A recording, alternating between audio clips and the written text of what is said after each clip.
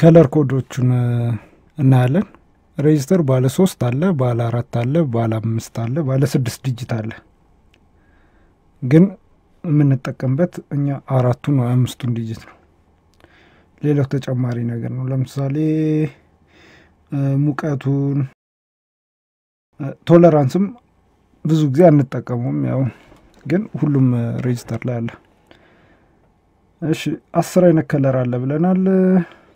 ጥቁር ዜሮን ይወክልልናል። ቡኒ አንድን ይወክልልናል። ቀይ ሁለት፣ ብርቱካናማ ሶስት፣ ቢጫ አራት፣ አረንጓዴ አምስት፣ ሰማያዊ ስድስት፣ violet የሚባለው አለ በአማርኛ ምንድን ነው?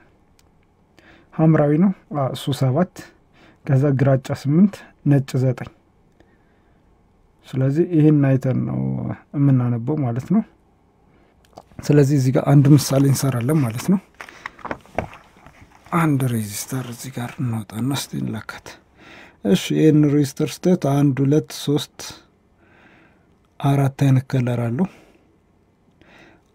ባለ አራት color ሲሆን ሶስቱን እንጠቀ ሶስቱን ማለት ያለውን መጠን ልኬቱን ለማወቅ ይረዳናል። አራተኛው ደግሞ tolerance ነው። tolerance እንዳልኳችሁ አንደኛ እዚህ ጋር ባለው ስፋት ትንሽ tolerance ያለበት ሰፋ ብሎ ይቀመጣል። ሌላው በአብዛኛው ወርቅማ ወይ ብርማ color ይሆናል።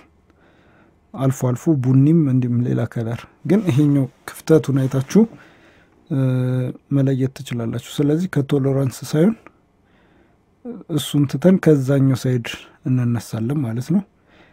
ይሄ የምታዩት ከቡኒ ማለት ነው። ወርቅማውን እንተዋለን።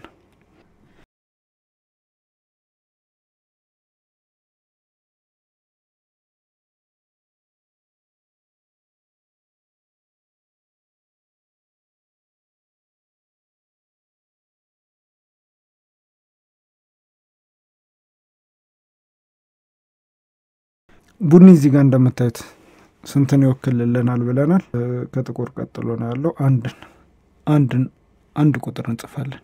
ቀጥሎ ያለው አረንጓዴ ነው። አረንጓዴ አምስት ቁጥር እንጽፈዋለን።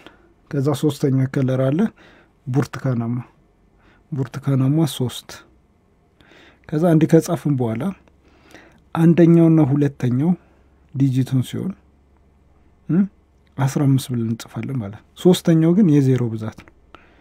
ከዛ ሶስት ዜሮ ታስቀምጣላችሁ። አስራ አምስት ሺህ ኦም ሆነ ማለት ነው።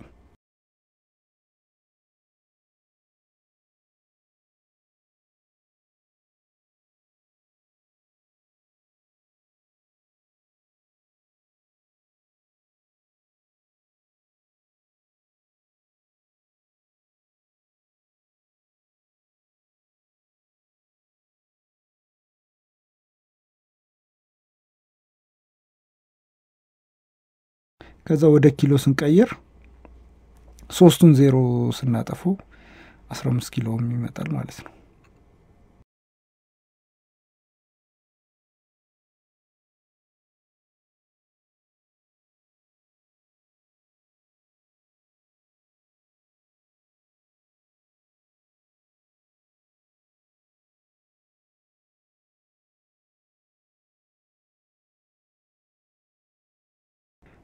አንድ ሺህ ኦምን አንድ ኪሎ ማለት እንችላለን።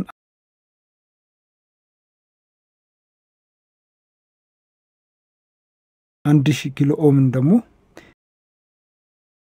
አንድ ሜጋ ኦም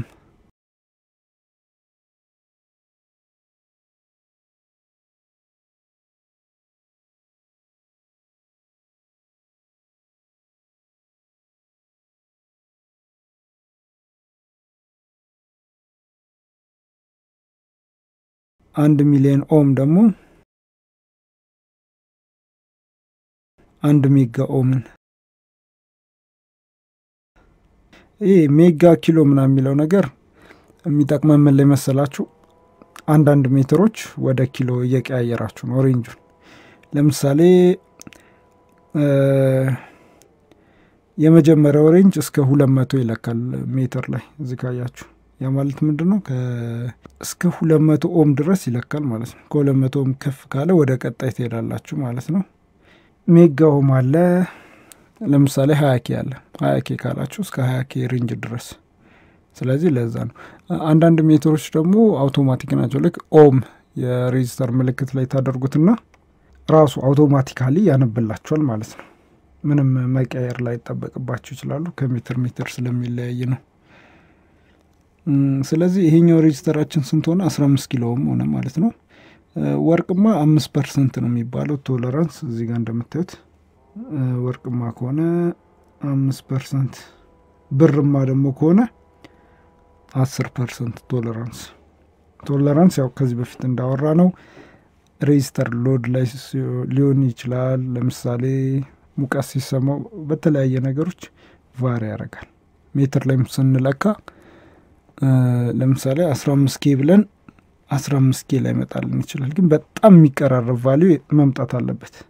ተቀራራቢ ቁጥር ካገኘን resistor ኡ ይሰራል ማለት እንችላለን። በዚህ መልኩ እንሰራዋለን ማለት ነው።